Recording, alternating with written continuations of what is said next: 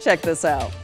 One of the country's biggest acts is coming home for a concert. The Macon Amphitheater hosting Macon's Jason Aldean next October.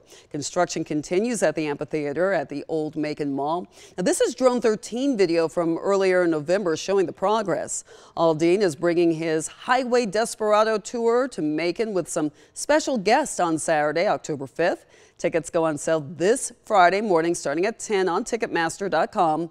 You can also buy tickets at the Macon Coliseum box office. Now, seats start at $45.75 and lawn tickets start at $35.75 plus taxes and fees.